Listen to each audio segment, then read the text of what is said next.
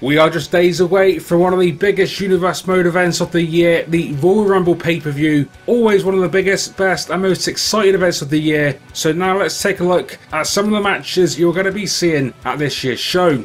We are going to be crowning a brand new NXT champion when Sami Zayn meets Adrian Neville one-on-one -on -one for SmackDown's newest exclusive championship. Now, both these men made it to the Rumble by being victorious in two separate six-man Battle Royal matches so now let's see what happens when two of the most promising, athletically gifted young superstars on the SmackDown roster come face to face with the brand new NXT Gold on the line.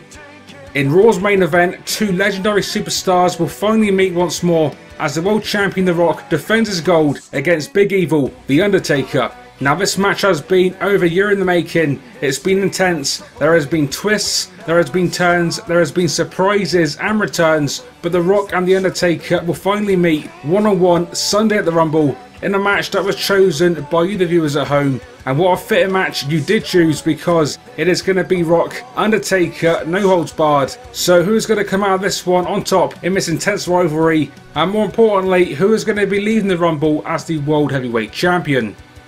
We made some massive changes to the SmackDown main event of the show because again, as decided by you the viewers at home, it was originally going to be CM Punk versus Kevin Nash and Seth Rollins versus a yet to be announced opponent in two separate matches, but you guys decided you wanted to see these two matches combined. So now Rollins doesn't only have one opponent on Sunday, he's going to be having two. These three men do have plenty of history and all three have been involved in each other's business in recent times Rollins has come out on top against CM Punk in their last two meetings, both times indirectly assisted by the NWO leader Kevin Nash. This due to Kevin Nash repeatedly getting in the business of the former leader of the group, CM Punk. Well, thanks to you the viewers at home, CM Punk has got another shot at reclaiming a championship he held for over a year and will also finally get his hands on Kevin Nash at the very same time.